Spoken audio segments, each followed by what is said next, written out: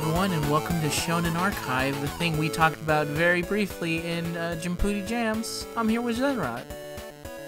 Hello. Hello. And if you didn't watch uh, over an hour into a previous video uh, series that we do, let me explain to you what this is real quick.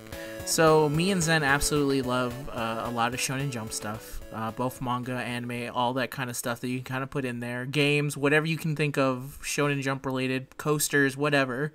We're into that shit. But there are specific series that we've never been able to get into, either because they're too long or they're hard to find or it's hard to justify watching at any given point unless we were doing it for a very specific reason. Like trying to find the motivation to watch something like uh, this is a good example and we're also probably never going to watch it. One piece which has over like a hundred a thousand episodes. Yeah you need to have, jesus. you need to have some strong will to watch every single episode of one of those things in a similar vein uh, if you were to watch every single episode of Naruto, that would also take, I would say, a significant amount of force, especially if you are not watching it week to week when it's specifically released. Um, and because of that, uh, because there's a lot of Shonen Jump series that are just like that for us, we decided to actually give ourselves the motivation and just actually create a series in which we can watch them and then talk about them, and that way we can always justify it to ourselves. That we yeah, we don't have to validate. exactly. So we have uh, here at the start, we decided to start with Gintama. Gintama, is that how you pronounce it? Gintama? I have been saying Gintama because his name is Gintoki. Yes. Okay. We'll go with well, that. it's just the Japanese word for silver. So Gin is silver, yes, which I know because of yeah, Shooting Star so. Gin. Uh, his name is also Silver. That's neither here nor there. We're gonna start with Gintama because this is probably the biggest in terms of Shonen Jump series, maybe one of the biggest ones outside of One Piece, where someone will say that has a loud fan base saying you should really watch all the anime, and the anime is over 367 episodes. So to start, yeah, it's a lot. So for the beginning, we aren't going to see all 367 episodes. We are at least going to start with season one and see where it goes from there, starting with five episodes. Um, before we get into actually what the episodes start, I may as well give some little fun facts because I wrote them down for here. So of course, Gintama stands for Silver Soul, and I think there's a joke in the first episode that says there's also a way to read it to be called testicles. Yeah, if it's apparently it's uh not they it says make sure you don't write it as Kintama because Kintama means testicles. I was like, all right, I didn't know anything about that, but sure. I would just uh, t- I'll take their word on it in the terms of the Japanese uh, writing of stuff. Like I said before, Gintama has over 367 episodes. The anime is weirdly broken up, where I want to say it's like 202 for the base series, which is called actually Gintama, and then from there it's uh, animes with like specific like titles in it. Um, I think they have a breakdown of it on actually Crunchyroll. If I actually go look at what they have there, because they have um, a season breakdown. I think it goes yeah seasons one, two, three, and then from then on it's like season. But for some reason it ends at like two hundred and two for season two for some reason. It's really it's a really weird breaking up. I think I'll probably have to. Well, didn't it get that. canceled and then and then revived? Did it? I know it did. I, I know it got canceled at some point. Well, here's um, another thing I remember is that Gintama was has also notoriously had multiple endings of their anime. there's been there's like multiple like right, but I thought is... that was because it got canceled. Huh? Really? We're gonna have to do a little bit more research into that because from the base of what I was looking at, I was like, I don't know why it's broken up this way. It would make a lot of sense if it was actually canceled at some point. If you actually know, feel free to tell us, and that will save me some time actually looking it for myself. But 367 episodes, at least 25 minutes in length if you count the OP and ED. And based off of my very bad Wokey math, I've determined that that is at 25 minutes, 367 episodes. That is 9,175 minutes, and it would take you around 6.371528 days to watch it fully. And that's assuming you are watching it 24 hours at a time. you would have to watch it basically in a week no sleep, nothing. Uh, that's insanely long when you put it out. The funny enough, that is very it, long. Yeah. Yeah, funny enough, but if you put it into the days and you go like, okay, well, if I spend around 12 hours watching it, it would take you about 12 days in theory. But still, that is an insane amount of episodes. And still, funny enough, not the longest uh, Shonen Jump thing out there at all. In terms, of, like I said previously, One Piece is definitely up there.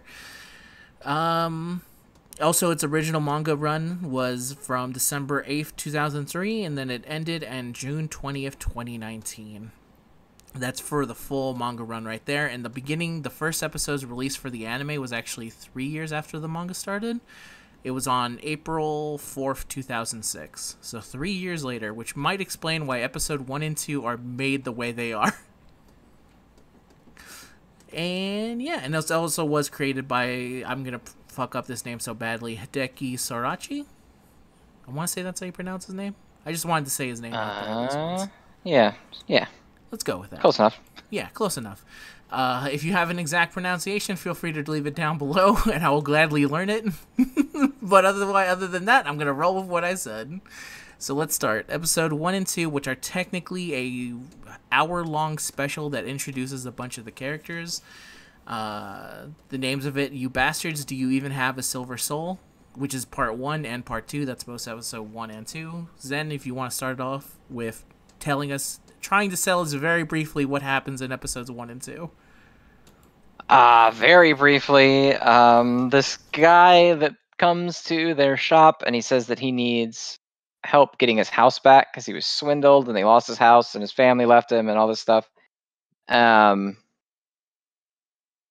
and eventually they agree to help him and they find out that there's a plot by these aliens that invaded Japan a long time ago and like yeah that made like a futuristic society uh, yeah. that they're going to cause earthquakes in to- what's Tokyo but Edo at the time mm. um, and cause all of the human made buildings to collapse because they're not durable enough and then they will resell all of the land um, to to I guess to aliens uh, and so they have to rush in and stop them by hitting the giant machine with a wooden sword.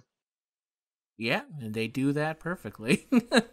they also try and uh, and that's basically the sum up for that the, that hour long special. This is actually a very weird thing because, like I said, it did come out three years after the manga. So my assumption was actually you had no idea this until I told you, but this is filler. This is not actually how the manga starts. Um, because by the point that you're watching this it's like fully on. It's basically introducing like it's like it's actually i feel like almost every five minutes it's introducing a brand new character to you. Like yeah so I, I had wondered why it was going the way it was because it i didn't know that those were filler episodes because i had never read the manga either um but it says that like like you go through that whole thing and then in episode three they introduced shinpachi and i was like wait a minute yeah, they go. They go I already back knew this year. guy. they go back a year to the start of the entire series. Uh, yeah, it's pretty. It's an interesting way of doing it. I want to say it's because t- the 2000s was a very weird time for shonen anime in general. Um, it's hard to explain exactly how I'm feeling about it, but it's like maybe it's specifically because of Naruto and it's so much like crazy filler that I feel like just back then the people were more okay with just like having filler for some reason. Or maybe it's actually what year did Naruto release back then? The animated version yeah. or the anime version, not the, the uh, early early two thousands. Um, hmm. This says the assuming the sub uh, two thousand and two. Okay, 2000. So there's no way for the crazy filler to have started. But either way, I feel like back then they felt like it was easier to just do. Well, no, no, no, because I mean, Dragon Ball had filler, and that shit came out in the 80s. Oh, that's true. Dragon Ball had a lot of filler, but I feel like, even but even episode one of Dragon Ball wasn't like a filler special to introduce it. But maybe well, no, episode one wasn't, but but there was a lot of filler in no. Dragon Ball and Dragon Ball Z. There was a crazy amount. I forget sometimes, but there is definitely a lot of it.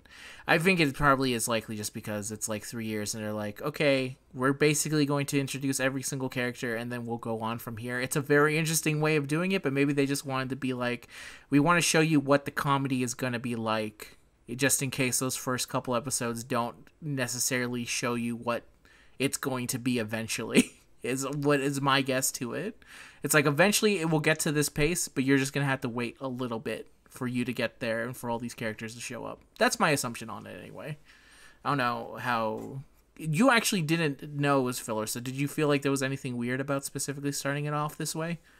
Uh, I didn't feel like it was weird until after I had gotten to episode three, but I had just kind of brushed it off as like a, oh, we're going back in time to now tell how this group got together, and then we're gonna pick up from where we left off. But we didn't really get far enough to get to like, I don't know. It struck me as like odd for a second, but I didn't really dwell on it. I was like, that's strange that we're just now meeting these characters we spent that last hour with, but whatever. Fair enough. And for the actual episode, I thought it was actually a pretty good just introduction. It does it very quickly tries to tell you everything. It's like, okay, there's a sword band. There's a bunch of aliens. It's the Edo period. Uh, here's these characters. Let's go. there's like really no space to do anything. They also introduce this man. Yeah, well, there's a lot of uh there's a lot of like actual historical elements woven in there. Yeah, like so it was like the Shinsengumi and the sword band was a real thing. Um, oh, I didn't know the sword band was real. Yeah, so like when at post age of the samurai or whatever, um, you weren't allowed to carry swords in public anymore. Oh. Uh, in real life, that was the thing. Smart um, to take away their swords. Yeah, so they basically, basically, the aliens in Gintama are just like the black ships, the the whole coming of the black ships, and like the Tokyo and and Japan opening itself up to foreign interaction because it was extremely uh, insulated and like hostile. I don't know if xenophobic is the right word, but it's very hostile I, to. I would say back then, like it, it, it's yeah, fair. It, it, it, it didn't want anyone from outside Japan influencing Japan, and then you know the whole the whole coming of the black ships and all that stuff, and the. uh I think that was America, right? Was that America? No, was it? I don't think we were around back then.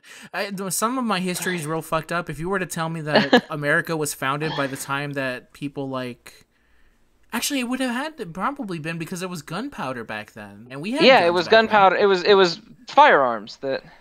Yes, it was America. The Black Holy Ships shit, was the name given to Western vessels arriving in Japan in the 16th and 19th century. Uh, originally, it was the Portuguese and then uh, it, it, it expanded out and there's like drawings of american ships and stuff in like japanese paintings um, but that's basically like the period where um, the capital moved out of kyoto to edo and then edo eventually became tokyo it's, it's like right around then like gotcha. post the decline of the samurai um, interesting it was like that period of japanese history where samurai were basically out but they were still like holding on to the whole like Bushido mindset and like they didn't, you know, you had these elements that didn't want to modernize, that wanted to resist yeah. and not join like the global stage kind of thing. They wanted Japan to stay Japan and stay like to its traditions and its roots. And you kind of have that in Gintama as well with the the terrorist organization that's in episode four or five, one five, of the two. Five, I think it's five. Five, um, yeah. Um, they talk about this in so Samurai Champloo too. too, right?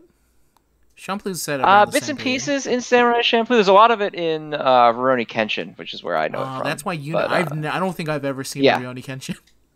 Yeah. So uh, Okita as well, the character in Gintama, was a real person. Yes. Uh, um, Hijikata was also real. You know this. Yeah, and then Okita Kenshin. is also a character in because of Fago. that's how. Yeah. sorry.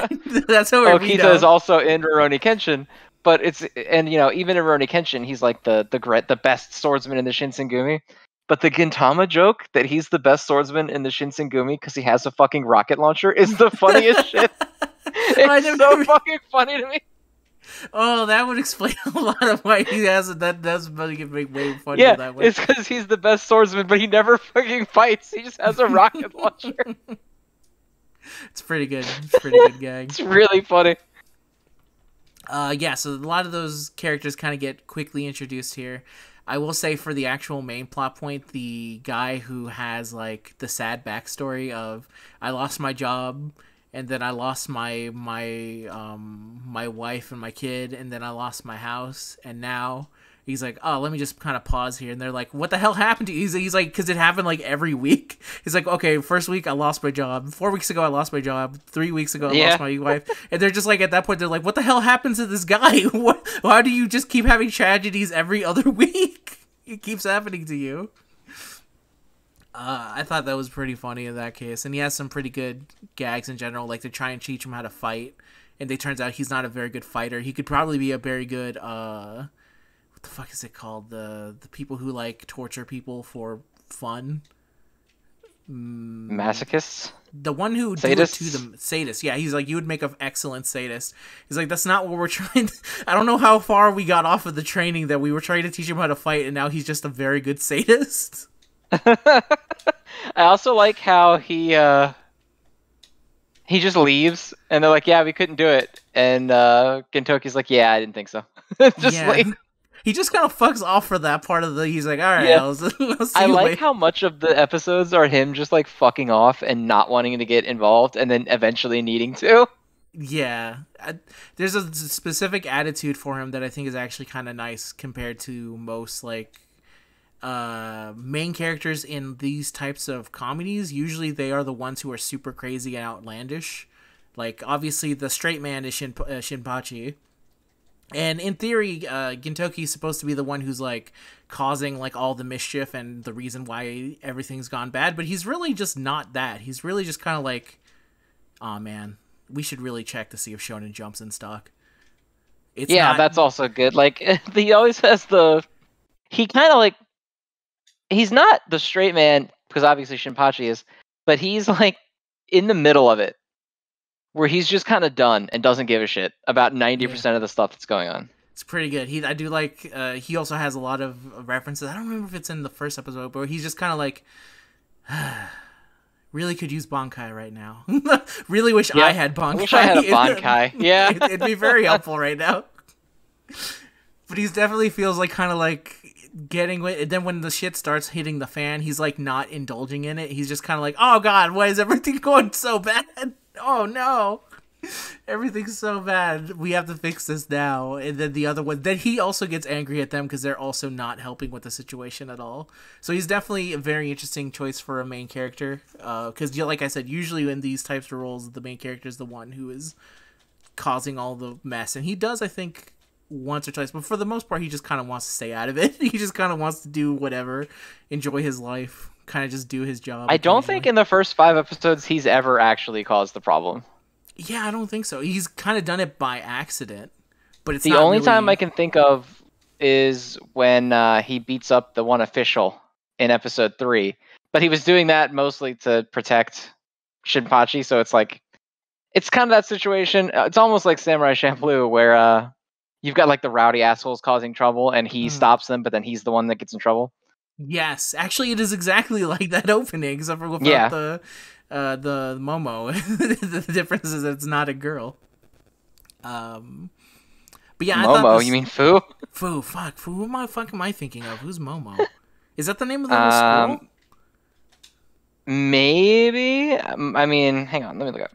Yeah, look it up. Either that or I'm. Who's the squirrel? It is Momo. Yeah, Momo's the squirrel. Okay, there you go. so I was in the general vicinity. They are always linked together. uh, but yeah, the the first the first two episodes, even though maybe it's just because specifically I read the manga, I thought it was an interesting choice. And to be fair, whenever a friend told me to start Gintama, he said maybe you should save that for a little bit later because it comes off a bit weird. But I think it only really comes off weird if you are familiar with the manga. Otherwise, it's just a very quick way to introduce a bunch of characters really quickly. And there's also some characters where they just get like p- screen time and then nothing else shows up, like like Elizabeth. She just kind of shows up and is like, "Hey." Elizabeth, I legitimately like don't find uh, the joke for her very funny. which is just um, that she exists. Yeah, because the joke is just that she exists, but the way that she's used in series is funny. When mm. they're in that cage and they're like, "How the fuck do we get out of here?" and they just turn around and she's standing there, just staring into the cage part. That's funny. But the actual joke that's just like, "What is this? This is a weird thing," is like not that funny. But Yeah, but to be fair, I don't think they really dwell on her looks that much. I think they just kind of go like, "Oh, hey, Elizabeth," but I also feel like that's because you're supposed to know already know who that character is in a weird way. So it's just kind of like, "This is this person." But we'll see when we. which, yeah, I don't think we've. You don't meet her again after that point. Like she hasn't been reintroduced, even though Yeah. um, Katsura is. Yeah, yeah. So we'll have to probably wait to see that one. Doesn't he also? Doesn't Elizabeth also hold up a sign? I forget what it says, but they're like as they're getting out. I think they hold up a sign and says like, it says something. Fuck, I wish I remember what it was, but it was very much like a a quick comment about what was going on. But yeah, some of them. Oh, the one where um, Katsura runs all the way after, like he's been running the whole time, Yeah. and they drove all the way there, so he's been running the entire episode to get there. Should get a car. And she hold, yeah, she holds up the sign that says "Buy a car." yeah, yeah, that's right. because he's like out of like dying on the ground, like exhausted, Yeah, and so it's very "Buy a car." Where if it was actually a regular person, they would totally just say that line, but it's way funnier when it's just a person who's just like out of context holding up a sign that says, I don't know, maybe it's funnier when I see a sign. I think signs are funny. that's why Wiley Coyote's so funny. It's because he has so many signs that he can just point up. Um, but yeah, that's uh, I think that's basically it for one. Oh, the other funny thing is that the the one of the characters, the ninja one, I think Sa- Sachan is that her name? The the one that shows up with Uh, the, a lot of beans. Oh yeah, uh, shit. I don't fucking remember the girl's name. Um, I think it is Sachan. because she's only in the first episode. Yeah, and then they make a comment at the end of the episode. She goes like, "I I forgot I was supposed to be here." They do a very quick like, "Oh yeah, I wasn't in the beginning of this." She kind of Sarutobi. Sarutobi Ayame, Ah, okay, Sarutobi. mostly referred to as Sachan. Okay, perfect. But she does have like a very quick joke at the end. It's like, "Oh yeah, I was supposed to be there." Uh, I wasn't though. so, yeah, or the, that's Yeah. the end the plot point right there. Where did I go? I don't know. I just kind of went away. it's fine. Uh, but yeah, that was the first kind of introduction for it. How'd you feel as an introduction for it? Uh, just for episode one and two. Yeah, It was good. I thought the humor was pretty good. Uh, I don't love all of the jokes in it. I think some of them are kind of just like meh. But episode one and two had some good ones. I really liked the way that they did the "we're going the wrong direction" joke because that's like a classic stupid joke that normally isn't that funny. But the Yeah. way they sell like the fact that he crashes his fucking scooter after he says that was funny as shit to me.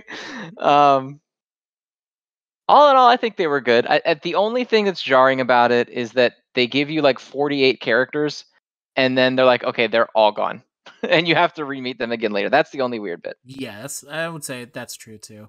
It's a very interesting choice, but I don't think it's like a huge hindrance because it was a very maybe it really was a special kind of be like, hey, we want to get you interested in this. Here's a very quick way, very like simple setup, and there we go, easy to go. One, two, three. Obviously, some characters get a little bit more than others, but that's why their singular introductions kind of get their own thing. But next, let's go on to episode three. Amongst natural perms, there is no bad guy. And this is the actual legitimate start to the uh, series. At least in the manga wise, and this is the anime for it. So, do you think you can run very quickly what it is? I can't do it because of my job. If I try and do something quickly, I end up giving like 27 different plot points of trying to go deep into it. Sorry, it's just my job. It's forced me to be this way.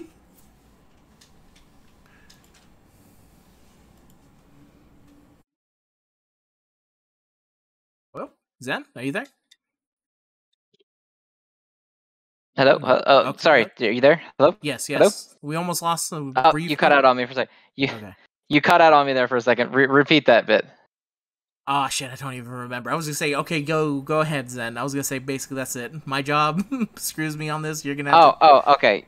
To tell about episode three. to... Mhm. See, the problem is I don't remember them in exact order. Episode three is where he meets Shinpachi because he beats the shit out of these officials, and then he frames him by leaving the bloody wooden sword in his belt. yes, Um. and Shinpachi chases him down, and then they have like a silly er, not like that silly, but sillier version of like the you have to sell yourself to save your dojo by making his sister go be like a a high leg bikini model. Yes, which funny Um, enough, funny enough, uh, apparently when I saw it, I was like, "Oh, it's kind of like a no pan shabu shabu," which is what I know it. But he was in a high leg shabu shabu, I think. But then apparently in the manga, they she actually is supposed to go work in a uh, in a no pan shabu shabu type of nightclub. But they changed that for the anime because you can't have no pan on a uh, Shonen Jump anime. I guess. I I guess that's was funny. like, oh, okay. But I, was- but funny enough, when I was looking, I was like, oh, this kind of reminds me of No Pan Shabu Shabu. And then later on, uh, when I read that, I was like, oh, it, it really it originally was that. It's like, oh, that explains a lot of what he was acting later on as well. But continue with what you were saying. Uh, yeah, and so Gintoki finally agrees to help save his sister, and they rush this flying nightclub that looks like a like a ship, like a water ship, like an old boat. Like the ship from Um, Mario. Yeah, Just kind of li- or like an old Final Fantasy airship, and then uh, they like Gintoki climbs up the engine and blows it up, and it just crashes. right? And then he's kind of arguing. I think it ends with him arguing with the police of saying, "I saved the day. I think I should be let go for stealing a cop car." And Yeah. he's like, "I think I should get some leeway on this." Uh, which is pretty funny. Which is it's it's a really funny conversation to have in the background with like Shinpachi kind of going like, "I think I found the man that I want to follow, someone who kind of represents that." mater-" Then you see him in the background, kind of going like, "Come on, this yeah, is he's like his uh his samurai soul is shining, and he's in the background like ah, all I did was steal a cop car. it's not that bad in the grand scheme of things. I saved the day." But yeah, that that's the episode. That's episode three. Um, I thought it was a pretty good introduction to stuff. It's a lot easier to do an introduction for singular characters when they got the main focus. Uh, it kind of sells a lot of what Shinpachi is, which is that he's the straight man. Kind of shows his dojo, gives a little bit lo- more look of the post samurai life, where they're saying like, "Yo, this sucks." Like, th- th- the only thing I was ever really good at was trying to be a samurai, and now that's illegal, and now no one respects you nobody cares about anything you do and the Amanto, which are the the alien dudes, are just massive assholes. So such yes, prick Huge dicks. So far, I don't think we've met a single one that's good. They're all just dicks. Uh, Kagura is one, sort of, right? Oh yeah, that's true. Okay, that's one. But even she sometimes acts a little bit. She's like a well-meaning dick, though. but you're right. She is. Uh, she does count as one. Uh, the other kind of jokes I like in this is when he's talking about his air fortress, and he's like, "Oh yeah, uh, what the, technically, and this would be illegal down here, but because it's in the air, it's okay." It's like the logic of like, "Oh yeah, because it's in the sky, the the the, the sky, the the laws do not apply to what I want to do." kind of reminds yeah, me it's of really just because I'm in the air. yeah, I can ki- do whatever I want.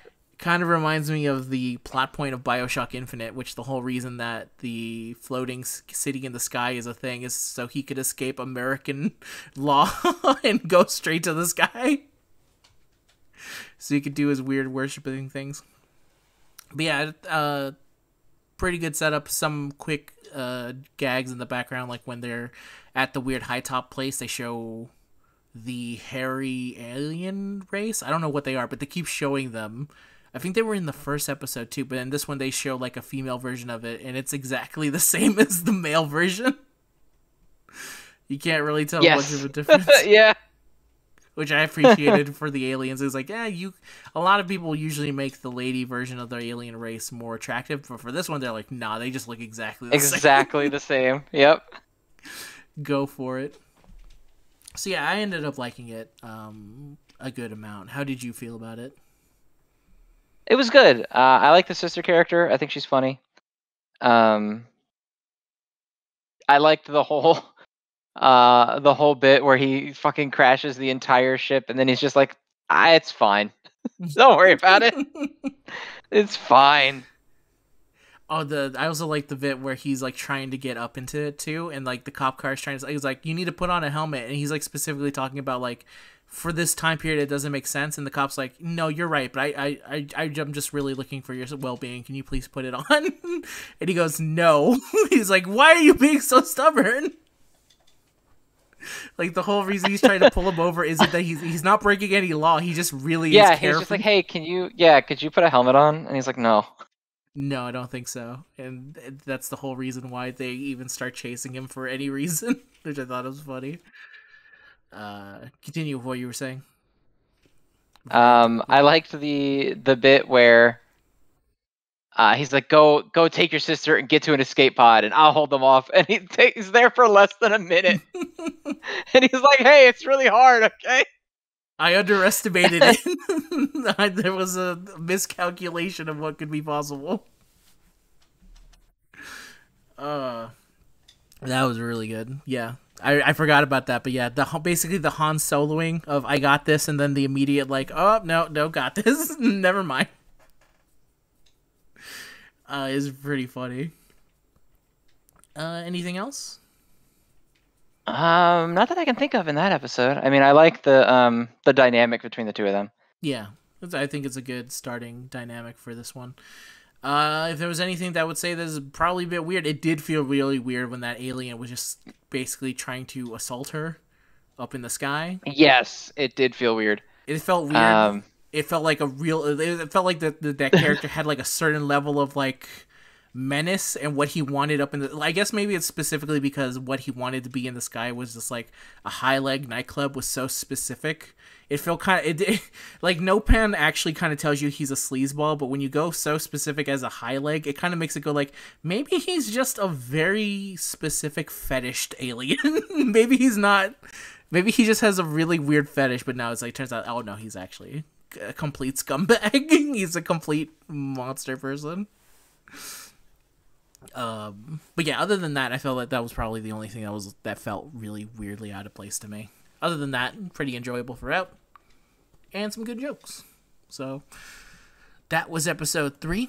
And also, the name of this episode, let's just say it again, is like, um, I wish uh, we have to start keeping notes of it because at the beginning and also during the end for an end scene, the the the the yellow text on top actually tells you like something. It like talks to you before you watch. Um, yes, that's like very old school anime vibes. This had. Yeah, which was I don't know. Maybe it's because I'm so used to the new anime. There was something about that specific, like, oh yeah, there was like a certain enjoyment of actually seeing it and kind of seeing what would be uh, said or said, something like that. It also kind of reminded me of translator notes, which is something that you don't get anymore unless you go into some really obscure manga or go back to old ones. Kind of reminded me of that as well. Uh, but yeah, that's episode three. And the name of the episode: Nobody with naturally wavy hair can be that bad which I think is a very good episode title. I think all the episode yeah. titles are pretty good. They're all pretty funny, yeah. Yeah, and this one might be the best one of these five because episode four is the next episode, and the name of the episode is "Watch Out! Weekly Shonen Jump sometimes comes out on Saturdays." yeah. Which this one felt like the most like I was watching. I was like, I bet Zen really appreciates just how deep he's kind of going trying to look for Shonen Jump because he really. I, I also love like the existential crisis that he's having over it. Yeah, he's really he's re- he just really wants to. half this episode is introducing a new character, and the other half is the existential crisis of trying to get Shonen Jump early, or trying to get it right here on Saturday. Um, why don't you very quickly tell us what it's about? Uh, so there's this girl who is working with a gang. Um, she doesn't want to, but she's doing it for a better life, and her version of a better life is like slightly nicer uh, rice. um, That's what she cares about more. Yeah, yeah, and so she's uh trying to get away from the gang, and so Shinpachi decides to help her, and Gintoki wants nothing to do with it because of uh he's trying to find a Shonen Jump. Yeah. And he can't, and then he ends up saving them at the last minute, and then they just take her in because she demands it. Yeah. Yes, that's basically it. And she kind of joins up with their. I've, we forgot to mention it because so far it has outside of that very first episode, it hasn't really come up that much. But their job is to do odd jobs. That is yeah. their main job. His name is just Odd Job. Odd job, Gintoki. Odd job, Gintoki. He does mention it in the first episode when he's uh, trying to be like, not the first episode, the third episode, where he's like, "I can repay you. Check out my card," and then they're immediately like shitting on him, like saying, "Like, what is the good of this? And this means nothing to us." Uh, but yeah, for this one, for this episode, some of my favorites is obviously the existential crisis of trying to get Shonen Jump on Saturday, because I, I, for some reason, that felt like the most. I've as someone who has to wait for Sunday Jump. If I knew Japanese, I would gladly go looking for Shonen Jump on a Saturday to look for whatever is coming out now and like I said, he they really go out of the way. He's like checking every single like place to sew it. He's not even trying to like steal it or anything. It's really just him going up to individual stores saying, "Do you have it?" and then them going like, "Sorry, just sold out" or something like that. And, mm-hmm. the, and they and never have it. They never have it. And the one case of where they he almost has it is someone like doesn't like throws away their copy of Jump and he looks at it like so excited. He does like this super uh, exaggerated jump towards it, and someone beats him to it at the last second. He was like, "Oh man, free jump!" Yeah, someone sets it on a on a bench, and he like has a slow mo leap off of the bench to grab it, and someone just walks by and picks it up. Yeah, just going, like, "Oh yeah, sweet jump," and then just leaves. I don't think he ever gets the jump either, does he? No, he does at the end. He, he uh, somehow he does, and then he rips it in half. Perfect. Denied everything. but even outside of that, I really like uh, Kagura. I'm a big fan of uh, strong female characters in the not. I was about to say in the actual sense of like, oh my god, they're so empowered, but also just yo, this girl just fucks shit up. I'm always this girl that beats the shit out of you. Yeah. Yeah.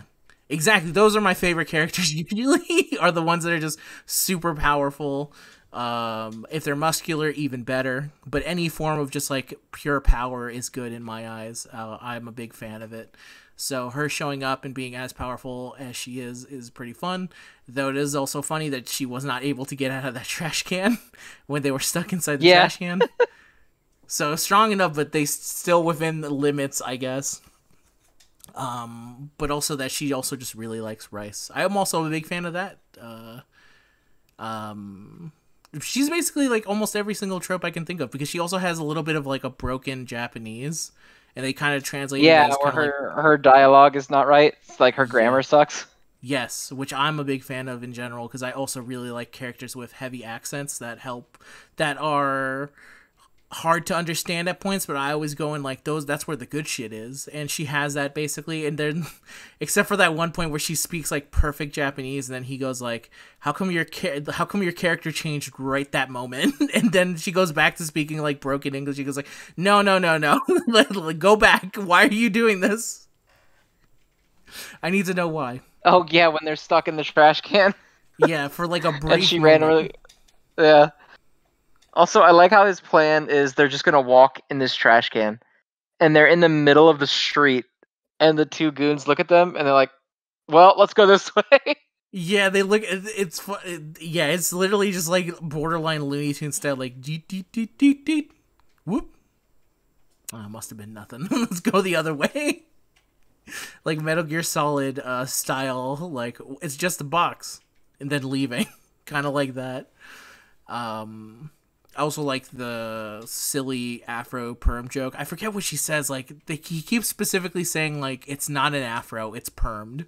He's like so specific about what he wants out of his gang of this specific joke. He's like, "Ah, no, no. You're not you're not listening. It's not an afro, it's just a perm. I need you to specifically call the perm gang the right thing."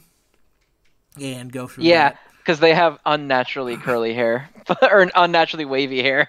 Yeah, exactly. that's what that's what you that's what they're going through. So yeah, I ended up enjoying it. It was pretty fun. I liked it. Good introduction. Good Shonen Jumps thing. I think I'd probably out of the episode shown this one just because of the Shonen Jump stuff. This might actually be the one I like most. There's a specific gag in the fifth, fifth one I really like, but other than that, I think in terms of pure enjoyability, I like this. I enjoyed this one the most. Uh, how do you feel? Uh, it was very good. I loved the bit where they think they kill her because they hit her with the scooter and they're like fucking freaking out. Oh yeah, um, that's right. Yeah. when he's like trying to climb into the vending machine. um, and then he's like, "Oh yeah, I'm sure they're fine.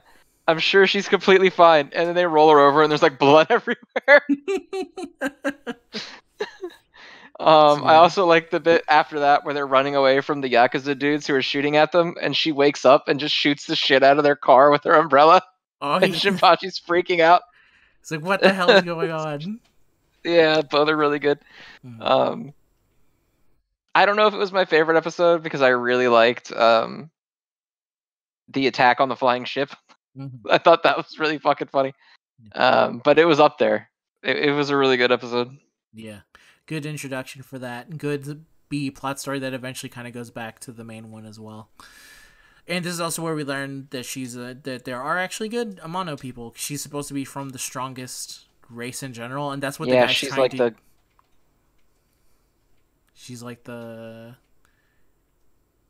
Yeah, I don't remember the name specifically of it, but they at least say. I'm assuming they'll get into that a little bit more later. But for now, they at least say, "Hey, very strong." That's good enough for me. yes. Um, Yato. That's the name of it. The Yato. yeah, the Yato. Also, I thought it was funny as fuck that in the episode where they're going to save the guy's sister, he's like, "Can't you drive faster?" And he's like, "No, I can't." um, No. But then in the in this one, the, he's racing a train on his scooter. that scooter has the, whatever is the needs of what he wants is how fast it can go. that doesn't make it seem like he specifically wasn't actually going that fast to help her. He wasn't. He didn't feel the urgency in there. He did for this one. Oh, that's right. And then when he hits him, he like puts him straight into the sky, right? Because because you think like in an actual sword, which is I thought what he what he was gonna do, which was just cut the trash can in half. But no, it's a wooden sword, so he just like yeets it into the sky. Because the entire yeah, time he he's not- literally cracks the whole thing, and then it ends up breaking when it falls through the roof. Yeah, there you go. That's right. I thought that was. I, I forgot that I was like, oh yeah, he doesn't use an actual sword, just a fucking straight up wooden sword that he smacks him with. Um, oh, he also ends up giving a haircut to the to the the evil dude at the end. Kagura ends up giving him like a yes, It- she cuts his uh she cuts his perm off. yeah, completely. And I think she leaves a little thing on top of it. I think. I don't remember. I can't remember. If Uh, she leaves a frowny face on the back of his head. Ah, there you go. And also, she eats all the snack shop too. I think this is also where they show up the old lady as well, to- Tose, who was also in episode one. But she just the only joke she had in episode one is that she should he should sell his liver or his testicles if he wants to make the money that he Mhm. needs.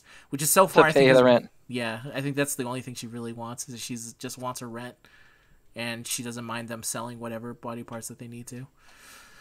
And yeah, that's episode four. And then finally, of the fifth ones of the ones we've seen so far, the name of this episode is called "Make Friends Who You Can Call by Nicknames Even When You Are Already Old Man," which is the longest title for an episode, at least I've seen so far. Yes, uh, it's up there for sure. hmm Why don't you tell us? And this is the introduction for Azura, or as he calls himself, something. I think his actual name is Katsura. Katsura Ka. Katsura Ka- It's it's Katsura something, but they they he calls himself or or Gintoki calls him Zura, Zura. which he hates. But uh, go ahead, tell us what happens in this one. So a mailman crashes into their house, and um, he's like, "Ah, uh, I I'm hurt. I can't deliver the mail. Please deliver this specific mail." And they're like, "Whatever, fine." And they go to the embassy, and the dog guard is like, "That's probably a bomb." And he's like, "It's not a bomb. Just take it." And he Fine. smacks it, and it goes flying, and it fucking explodes. Yeah, huge Um, explosions. Yeah, it's a massive explosion. And so they run away and they get saved by uh, Zura, who um, leads them back to their hideout. And he's like, he reveals that Gintoki was a samurai in the war against the the aliens, and he wants him to come back. And Gintoki says no. And then the Shinsengumi attacks, uh, and then it just kind of oh yeah, there's a time bomb, and they end up uh, managing to set off the time bomb without killing anyone, and then everyone just kind of drops it. Yeah, everyone's fine. There is also a small kind of plot point where it turns out that um uh uh, Zura was behind the, the the he's been behind the terrorist attacks, and he also has kind of been the reason like the, the the mailman that was supposed to deliver deliver the bomb is on his side and they kind of point together it's like hey there's the delivery guy. I guess we now know what's going on with that. And Gintoki doesn't actually um get angry. He just kind of goes like all right well Yeah, he's like, was- okay. Like listen that i'm not joining your side but that also wasn't cool man. I need you to not do this. I need you to stop being a terrorist. Like in, in so many words it was a very interesting reaction. I guess to kind of show their friendship that he's not really that angry about it. He's just kind of like oh okay. That explains it. All right buddy we're gonna have to have a little bit of a chat about this real quick I also I like in that episode where they talk about how cliche it is that Kagura accidentally arms the bomb by poking at it. Yeah, that was pretty good because she does just kind of poke it, and then they go like, oh. "It's very much like defeated, like, damn it." of course, this is always the way it was going to go.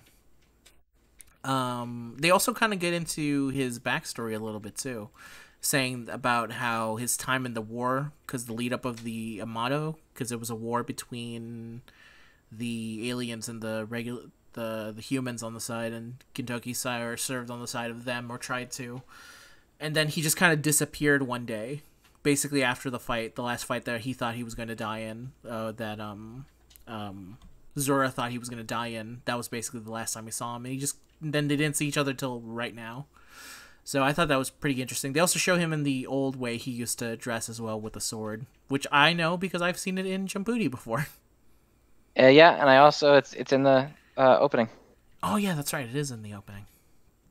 Um. So yeah, this episode, uh, the I think the funniest thing for me is when they're trying to get rid of the bomb because he the, the specific screams that he does when he's like he's so like panicked about everything that's happening he's like oh my god he's, like the specific screams that he's doing just sound nothing like him and it made me really laugh. Like it's hard to specifically like say the screams but he's like going in such a high pitched voice where you actually stop to think like because um gintama is usually like a very much a oh, oh, oh he's like he has a very deep voice but then for that specific minute when he's like freaking out thinking that it's gonna blow up in his hands he's just like freaking the hell out um they Yeah. also do they also do like a game which it's a japanese game so i didn't fully understand the rules of it but at one point I it think it's when whatever you say, you have to. The next person has to say a phrase that starts with the last letter of your previous phrase. I'm pretty sure. think so, yeah. But Kagura breaks it by doing the "Yo, Adrian." She was quoting Rocky, and then he gets angry because Yeah. he goes like, "You broke the game. That's not that's not how you're supposed to. Who the hell is Adrian?" Yeah. Uh, so I thought that was funny. So the entire things with the bombs I really liked, and also the reaction of after he throws the bomb of just like, "All right, here's what we're gonna do. We're gonna run now," and he immediately starts to like. There wasn't even a try of like, "Oh, it wasn't actually." Like at no point does he ever say like, "Oh, it wasn't us." Because it's like that's not gonna happen. They're just let, me, let me stop you right there. No matter how hard we try to explain this, it's just not gonna happen. So they just don't even try.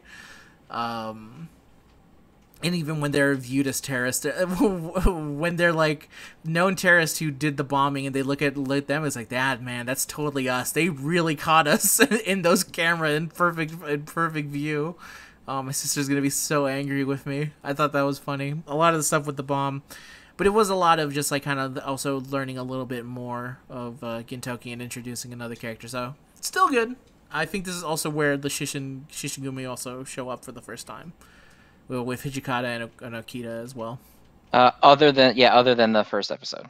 Yeah, yeah. So still kind of making through through the uh looking through it.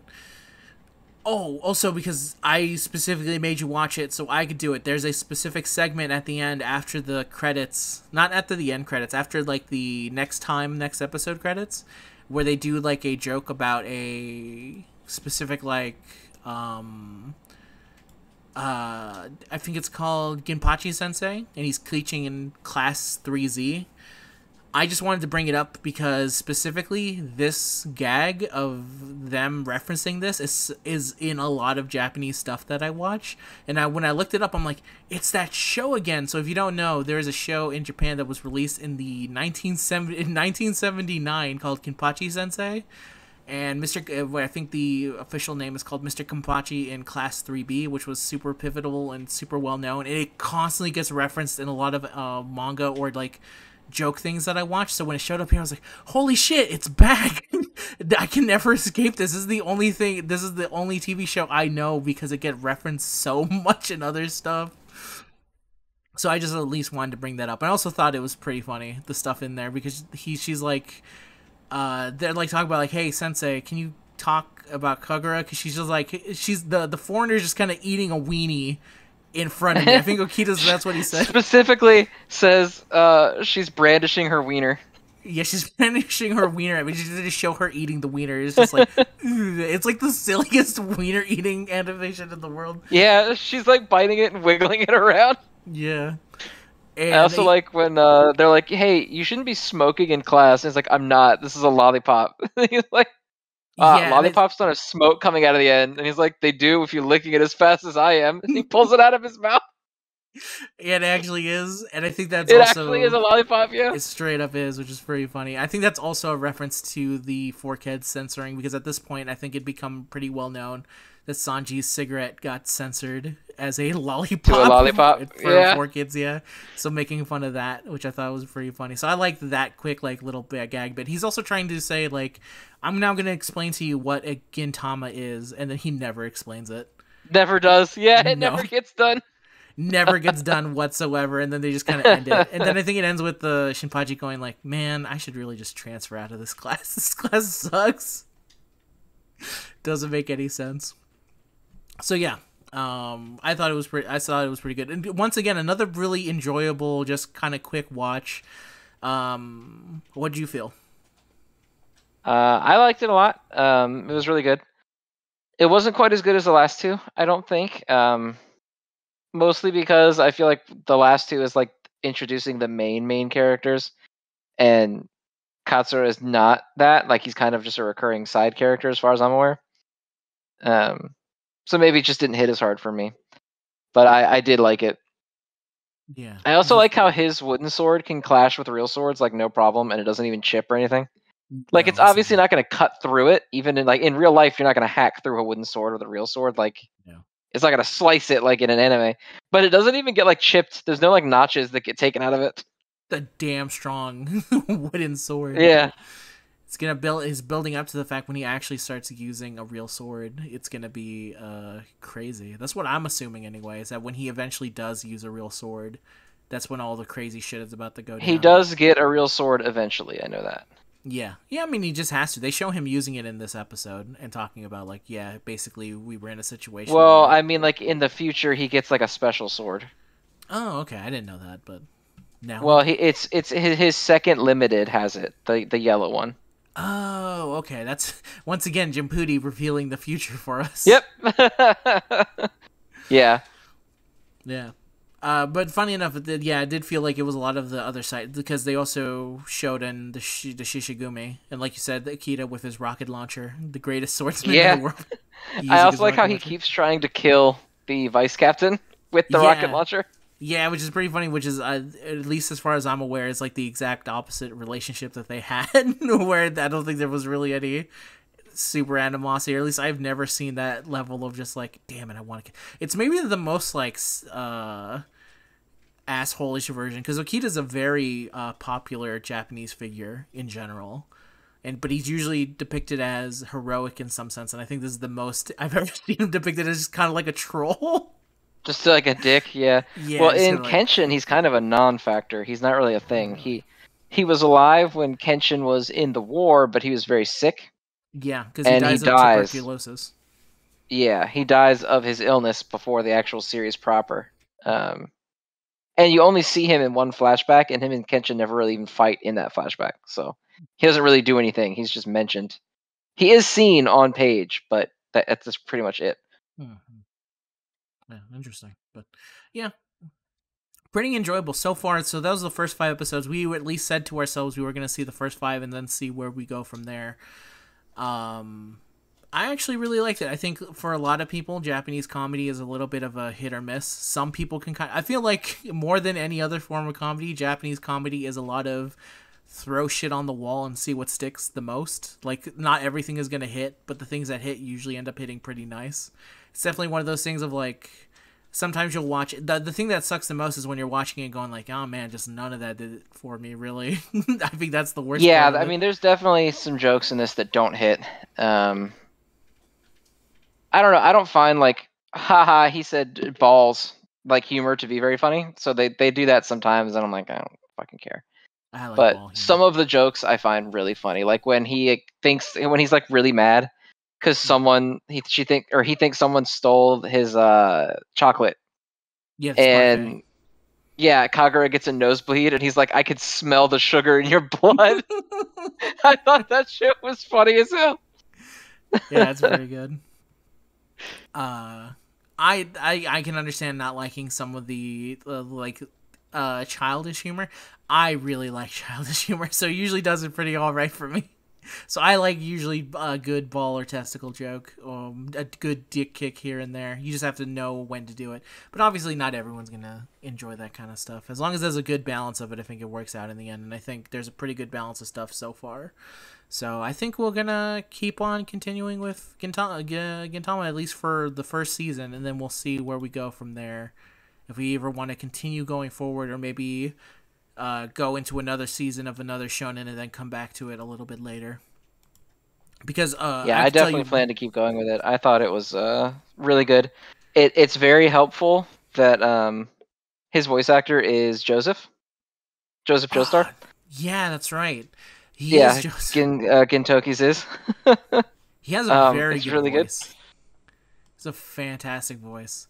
Uh, he also was funny enough. He voices uh, Switch in Sket Dance, uh, one of the main characters in Sket Dance. And there is a later on there is a crossover between Gintama and uh, Sket Dance, and they actually make uh, jokes about the fact that they sound exactly the fucking same. That's funny. He's like the only difference is that uh, Switch has a he talks through a computer, so he, he kind of sounds like a little bit robotic because it's basically his voice being put through a filter. But he's like, they're saying like you guys sound exactly the same, and he's like, oh really? We don't, I don't really hear it, so I don't know where you're going from that, but no, I don't think so. So pretty good, but yeah. So I think we'll continue. Uh, do we want to keep on going with the five episode? Do you want to move it up to try ten? Depending Uh, now that there's a weekend between when we're doing it and think ten should be doable you think because so? I'll have all day instead instead of post work only.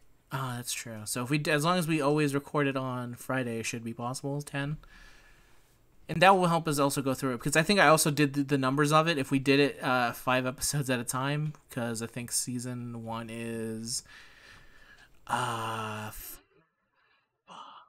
how many is it? I think it's fifty-one. So I think it would be 10, ep- 10 videos later. So 10 weeks from now, we'd basically be done uh, as opposed to five weeks if we did it like that. So yeah, I think ten episodes will go, and then we'll see how it goes from there. I think we also found the most damning thing of being able to try and explain what's going on, but I think we were able to get that done pretty well here. I think. Yeah, uh, uh, it's nice because it's a comedy series, so like you don't really need the the nitty gritty. Yeah, yeah. We'll go into any specific gags that we like at the end of the explanation of it and stuff like that.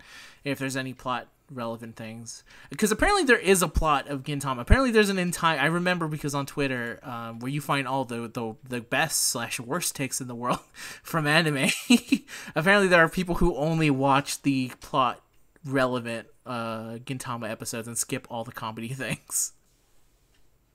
Why? yeah, right. It's kind. It's That's the kinda whole what- point of it.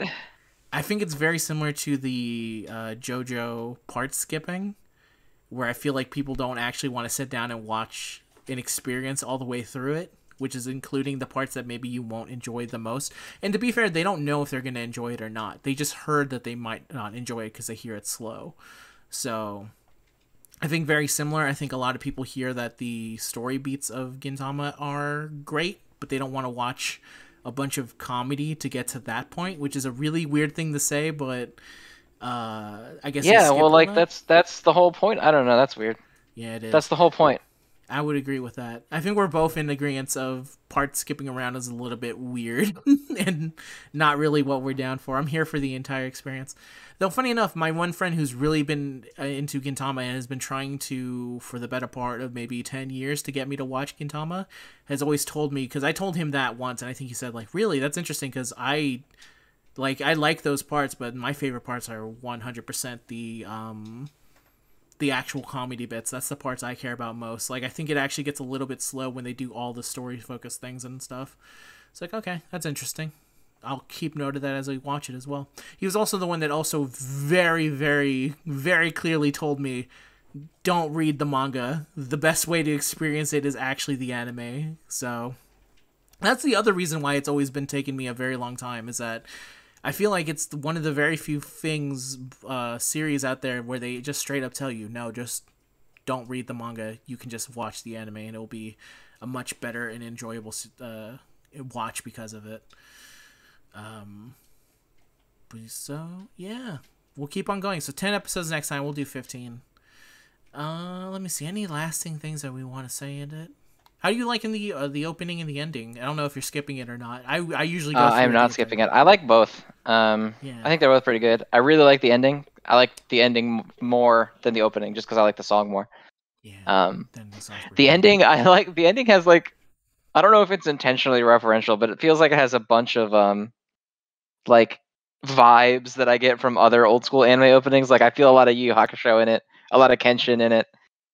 I'll have to pay more attention to that because I've just been kind of like vibing with it and kind of. The one, the bit where he turns around and the zombies come out of the ground and he starts fighting them, I swear oh. to God, is like one for one from a Yu Yu Hakusho OP. Oh yeah, you're. I should pay more attention to that because now that you mention it, yeah, there might be actual references to other stuff in there uh, that I, I just didn't pick up because I was just kind of vibing with it every time I was watching it. Uh, but yeah, I also like the music in here too. There's like a almost like a rockabilly kind of feel for it. Like the main like running away theme whenever it's like dun dun da da da. It's very hard to. Yes, make... it's it's really good. Um, the music, all of the music has been good. Actually, I don't think any of it has been like mediocre. Yeah, there's um, the very good ripoff of the um Star Wars theme as well.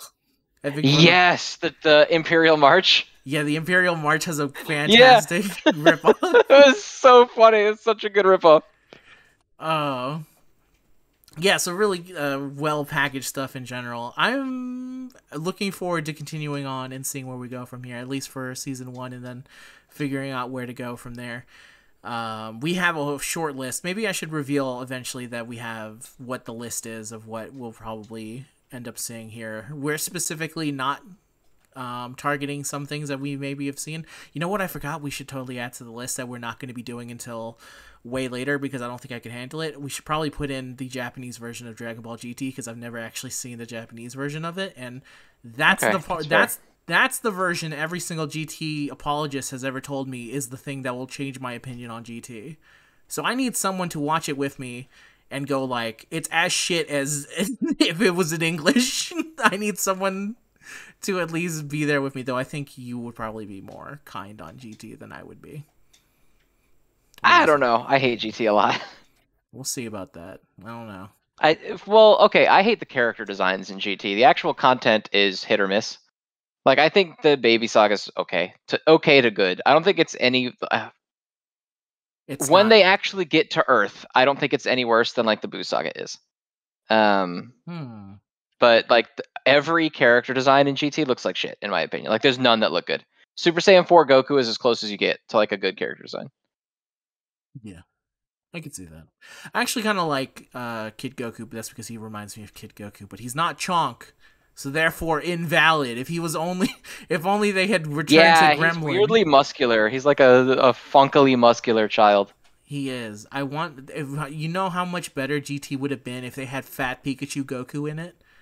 It would have been easily. It would have saved the series. We would still have Dragon Ball Super today if GT had just went with uh, Chonky Chonky Boy Kid Goku over the muscular lean version that we got instead. But anyway, that's the the end of Shonen Archive for now. Thank you very much if you've seen it all through. Uh, we will continue doing this as long as we can, and as long as we remember to watch the ten episodes. so if there's no episode next week, then that means that we didn't watch ten episodes in time. I swear to God, we will do our damnedest. I will tell Zen, hey, remember We'll, the we'll, ten episodes. yeah, don't don't let me forget because that's No. the main thing that will happen is I'll forget to do it. Yeah, yeah. I'll remind you every like three days or so. I'll do it. We'll do a basic episode check-in, and I'll also do it just to be so that there's no shame. So we'll both go like, "Hey, man, so how many deep into the ten episodes are you? I'm at zero. Why don't you tell me how many you have?" But we'll keep on track of it. Don't worry. And that's it for us, everyone. So we don't really have a call sign for this, so it's just us going to be saying goodbye, everyone, and we'll see you guys next time. If you feel free to watch the series along with us if you want. See it as yeah, your if you've never seen justification. Gintama, check it out. I think the first five was really good. Yeah, I think pretty solid starting out there for sure. Until next time, everyone, goodbye. You can't see me waving, but I am waving. You should say goodbye as well before I forget. Oh, goodbye, everybody. Perfect.